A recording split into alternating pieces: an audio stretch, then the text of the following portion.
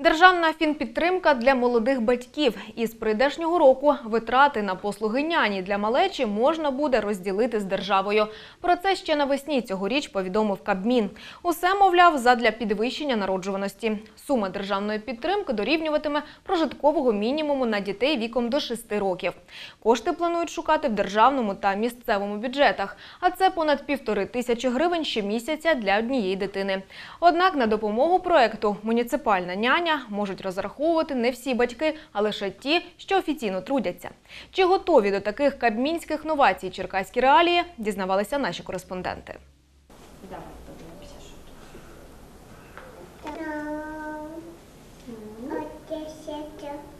Такими власними витівками черкащанка Дарина у себе на роботі організовує дозвілля для донечки. Тут аркуші для графіків стають розмальовками.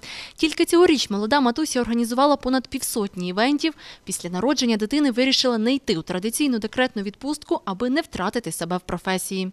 В один проект, коли малій було два місяці, і на той момент вона в основному сиділа у мене примотана в слінгу і або спала, або щось там по-своєму агукала. Молода матуся зізнається, спочатку брала малечі з собою у робочу метушню, однак згодом проводити 100% часу разом зі своїм чадом стало неможливо. Старалась регулювати, бо для дитини насправді це великий стрес, коли навколо багато людей, ну для маленької дитини. От, тому намагалася знаходити баланс між тим, щоб бувати в середовищі, де дуже людно, і бути наодинці з малюком. За родинним кошторисом понад половину доходу витрачають на послуги доглядальниці за малечею. У цій сім'ї за годину роботи няня отримує 40 гривень. Молоді батьки готували себе до такої ситуації, тому оплата цих послуг для них як інвестиція в майбутнє. Е, Харчування сім'ї 4,5, квартира е, 3,5, транспорт 100 гривень і няня 4800. Оцю. Як ми бачимо, це дуже значна частина наших витрат. Оцю. У свої 25 вона няня із дев'ятирічним досвідом. Жінка доглядає за іншими дітьми на час свого декрету. Нині під її опікою шестеро малюків, а день розписаний похвилинно. Допоки власний син у садочку, вона заколисує сусідську малечу. В мене є дві родини, в які я постійно працюю. Є дівчата, які просто дзвонять, там хочуть зробити е, зачіску, наростити нігті, вії, і їм потрібно десь залишити свою дитину. Деякі просто працюють і беруть няню, ну по-різному. Та легалізовувати свою діяльність жінка не збирається. І якщо я буду влаштовуватися офіційно і мені прийдеться платити податки, то е, будуть знімати соціальну виплату на дитину. Тобто, получиться, е, я по- ну, втрачу ці 860 гривень, які платять мені за мою дитину, і не буду заробляти повну, е, ц- повну зарплату в одній родині. Тим часом у тутешньому департаменті соцполітики про подібні новації чули, однак ніяких вказівок зверху ще не було. Уже в Міністерстві соцполітики нас проінформували, аби отримати гроші від держави, батьки мають самі обрати няню, укласти з нею угоду про офіційне працевлаштування, а лише на кінець року надати документи на відшкодування. Нині зазначений законопроект узгоджують із зацікавленими центральними органами влади, громадськими організаціями та соціальними партнерами.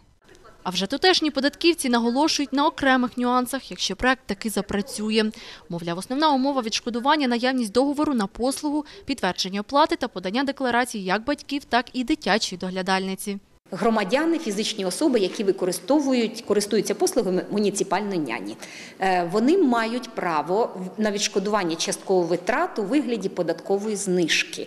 Е, Що вони можуть, е, вірніше, що їм можуть повернути? Їм можуть повернути згідно законопроекту, максимальна сума компенсації за кожен місяць користування послугами має становити не більше ніж встановлений законом прожитковий мінімум Натомість підприємці, платники єдиного податку мають відшкодування в іншій формі. Перша, друга група мають право на зменшення суму єдиного податку до сплати, а третя і четверта група єдиного податку мають право на зменшення е, оподаткованого доходу.